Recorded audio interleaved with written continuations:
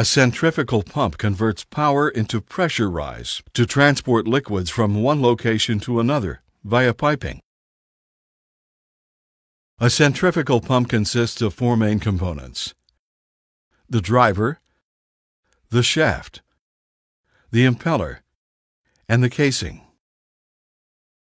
The driver, shown here as an electric motor, connects to one end of the shaft and provides the mechanical power to spin it. The other end of the shaft connects to and turns the impeller, which is located within the casing. Liquid enters the suction side of the pump and travels toward the eye or center of the impeller. The impeller's rotation produces a lower pressure that draws liquid toward the eye.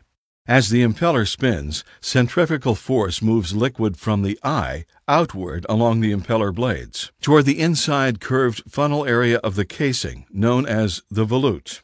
As the liquid travels along the volute, its velocity decreases while its pressure increases. The now higher pressure liquid flows to the discharge port of the pump and out into the piping system.